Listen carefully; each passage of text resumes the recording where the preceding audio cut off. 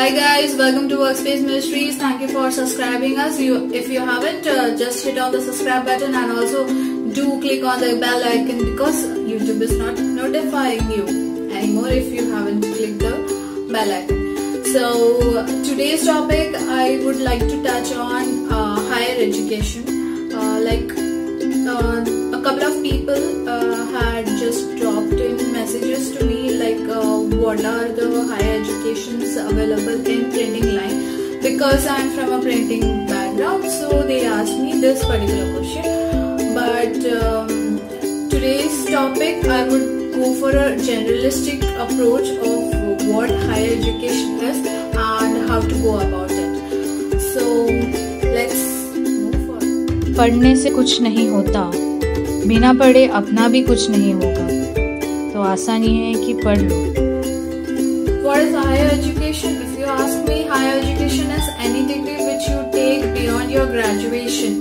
So after 10th, then 12th, then graduation, or else if you're from a diploma line, like 10th, diploma, and then graduation, and anything beyond that is uh, higher education. But uh, if you say how important higher education is in India, okay, in India, frankly speaking, it's not that important because in India, experience counts a lot. If you are experienced, you get a job.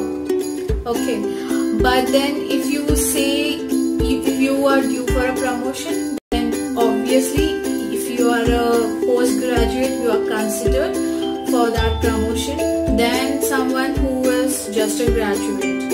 So again, that counts.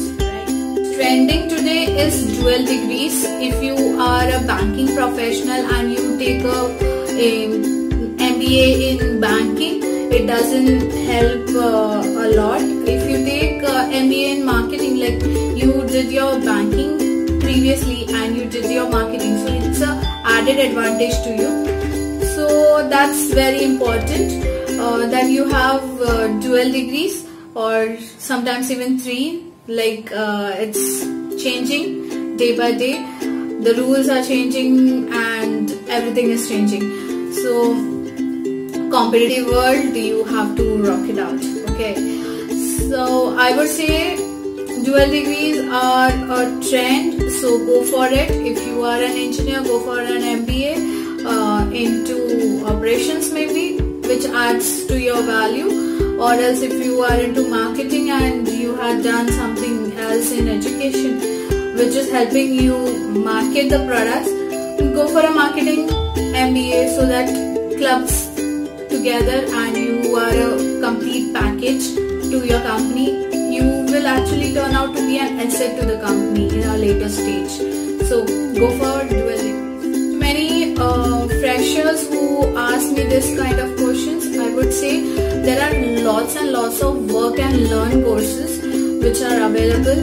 Tata Institute of Social Science provides, uh, then there are some Symbiosis, I guess they are also having some courses like that.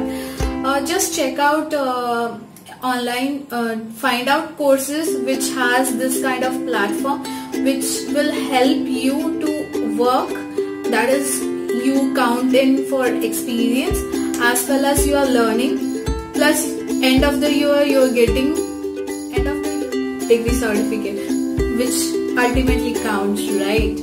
For you obviously. So i would say uh, check it out um, and go for those kind of uh, jobs which will enhance your skills and which will add value to what you are right now. That's all for um, higher education from my part. Uh, many of my friends uh, which colleges are there, what all uh, courses they have. Frankly speaking, in printing line, experience is what counts the most. Even today, if you just have a degree, you are not having a job, then sorry boss, even the other company is not interested in trying out for a fresher.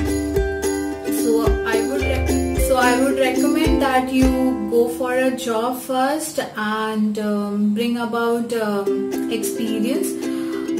Like brush yourself for two, three years and then come back to have your higher education like a degree or something like that and then फिर your career will get a good start and for the degree holders in printing and packaging or even printing I would say uh, MTech के बाद भी वही हाल होता है यार MTech के बाद भी वही हाल है